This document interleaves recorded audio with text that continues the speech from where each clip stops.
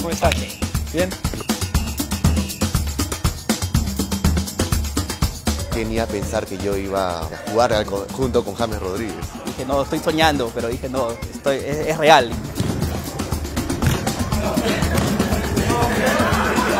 Así que con más fuerza a seguir esto haciendo trading en Libertex. Se los recomiendo, realmente es algo que te puede servir para el futuro. Ok,